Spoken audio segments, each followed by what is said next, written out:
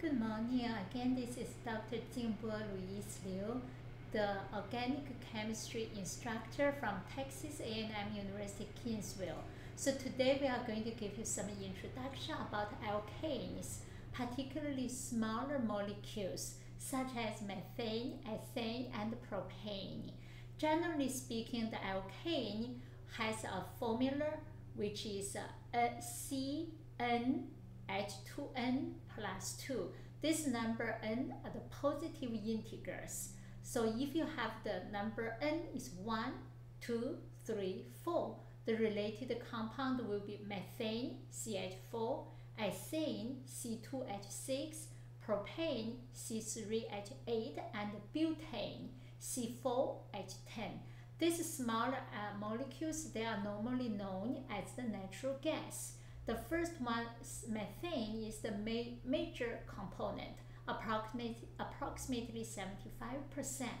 Your ethane about 10%, your propane 5%. These compounds, they are normally existing as the gas. They have a very low boiling point under ambient conditions. So the second important topic for this uh, for these uh, uh, different alkanes are related to their structures.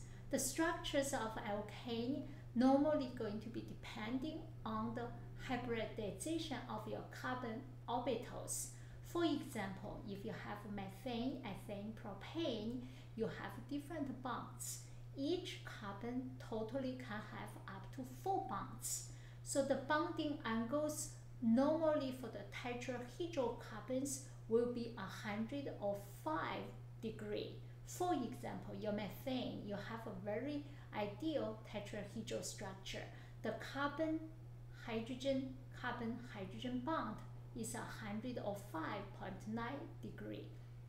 And the bond, bond length of your hydrogen carbon is 109.5 picometer.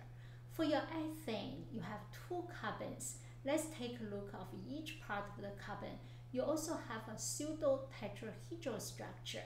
So due to the carbon, which is larger than hydrogen in terms of the atomic radius, therefore the carbon-carbon bond, carbon-carbon bond compared with a carbon-hydrogen bond will causing the bond angle increasing between carbon-hydrogen and the carbon-carbon carbon-carbon and the carbon-hydrogen bond. That bond increased from 109 to 111.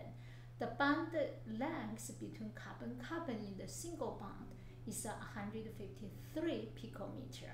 So if you have three carbons, so each of the carbon allows four different single bonds. Similarly, for this middle carbon, you have a carbon-carbon bond, carbon-carbon bond, and you have two carbon-hydrogen bonds the bond angle between carbon-carbon bonds will be larger than 111, which is approximately 112 degrees. The bond length between the carbon-carbon is essentially 153 picometers as well. So here we have a dilemma. What happened?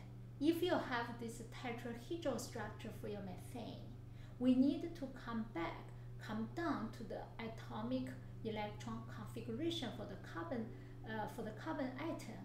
If you have your carbon atom, everybody knows carbon has an electron configuration, which is a 1s2, 2s2, and 2p2. These 2p electrons, one is going to be placed in your px, another one will occupy py. In this case, seems to be you're having two more electrons, which are single, which are not paired. In other words, you should have two more hydrogens. However, you have four more hydrogens. So you have two unfully or half-filled orbitals px, py. But how do you have four different hydrogens? Meaning in this case, you are going to have something called hybridization. px, py, pz, and your 2s. 2s orbital and 2p, 2x 2px, 2py, 2pz, these four orbitals, they are going to form a hybridization orbital, hybridized orbitals called sp3 hybridization. totally you have three p orbitals. You have one, two s orbitals, four orbitals. They are going to form four equally unfilled or half-filled orbitals. So they call sp3 hybrid, uh, hybrid, hybrid orbitals. These four sp3 orbitals, they all have the same energy. They are of equal energy. The axis of sp3 orbitals point towards the corners of the tetrahedron. So the s sp3 orbitals, when they have these bondings, so they are going to involve in sigma bond for formation. So the sigma bond is pretty strong bonding. So each of the carbon, you have one carbon, each of the sp3 orbital allow another electron from hydrogen to be occupied in these different orbitals. So sp3, first sp3, second, third, four, four sp3s, you have four different hydrogens. Each of the four hydrogens, they provide one 1s electrons. Therefore, you form a sigma bond. Again, the bond angle is 109, all the same in band angle, all the same in band strength. If you have your ethane, what's going to happen with the ethane? Each of the carbon also take the sp3 hybridization.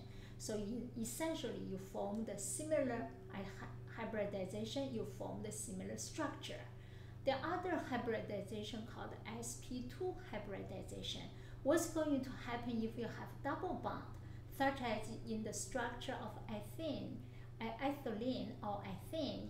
What happened that the two carbon-carbon, they are going to form the double bond, meaning you are going to involve two more other single bonds. In this case, based on the structure, the carbon-carbon carbon hydrogen bond is approximately 112 uh, 121.4 degree. This is very close to 120 degree. This tells us hybridization of sp3 cannot be happening. You must have a different hybridization. In this case, you form sp2 hybridization.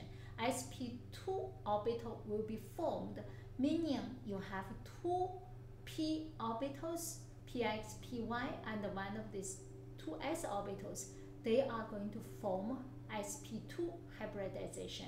sp2 hybrid orbitals, three of them will be formed. Another orbital 2pz is called non-bonding orbital. They are not going to form any hybridization. So this sp remain sp the sorry 2pz orbital is going to remain half filled. And then the structure, structure wise, again, if you take sp2 hybridization, so the band uh, the band angle will be essentially 120 degree. The structure should be square planar, but it's not an ideal square planar. So uh, uh, trigonal. Apologize for that. Trigonal planar arrangement will be formed. And in this trigonal planar formation structure, you are going to see two types of bonding. One type of bonding you call the sigma bond. Sigma bond meaning the carbon hydrogen, they are going to be overlapped of the sp2 of carbon orbital and s orbital from your hydrogen along the bonding line. So in this case, you form a sigma bond. The other bond, so which called the uh, other uh, orbital, which is the pz orbital. The pz pz orbital from two carbons, they are going to be overlap to form a pi bond. The pi bond is slightly weaker than sigma bond. And the, the other structure is uh, acetylene. In this acetylene, you are going to find sp hybridization. SP hybridization essentially give you a band angle 180 degree. So they are different from SP2, SP3 hybridization. What happened in this case? So you are going to have one 2s and one p, they are going to be hybridized. py, pz, both orbitals, they are not going to be involved in this hybridization. So they are going to remain half filled So therefore, you are going to form two different bonds as well. So first one, you are going to form carbon hydrogen carbon sp hybrid hybrid orbital and s orbital from the hydrogen. They are going to share the electrons. They are going to overlap in along the line, along the line. So therefore, you form the sigma bond, and then the p orbitals they are going to bond overlap to form the two pi bonds. So again, you have sigma bond, you have pi bond. So that's essentially what you are going to see in the different hybridization which related to the single, double, triple bond. To summarize about the hybridization of carbons, so what you can see if your carbon bonded to other four atoms, you are going to relate it to sp3 hybridized with band angle approximately 100 or 9.5 degree.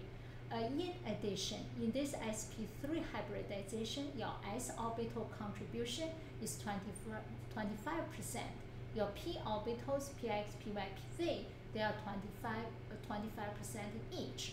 Totally p orbital contribution is 75%. In the carbon double bond, carbon-carbon double bond, they are going to involve in sp2 hybridization the band angle correspondingly is approximately 120 degree. You do form one carbon-carbon pi bond.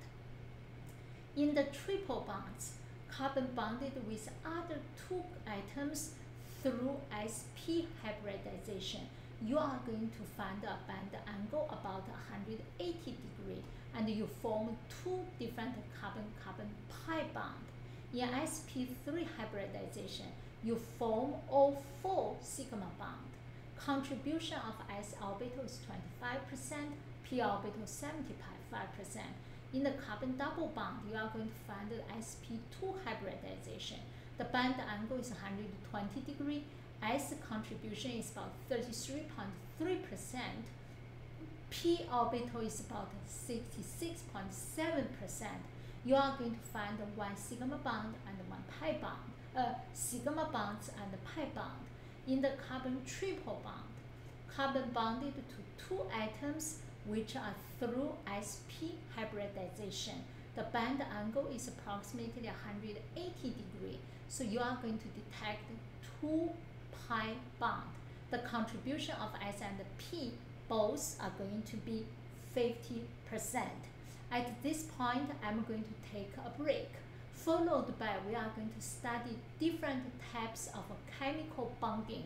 We try to see uh, three chemical bondings, which one is the best one to describe the different orbital formation, different Lewis structure, and different formal charges. So we are going to discuss it in the next lecture. Again, you have a nice day, stay safe and stay healthy. Thank you so very much.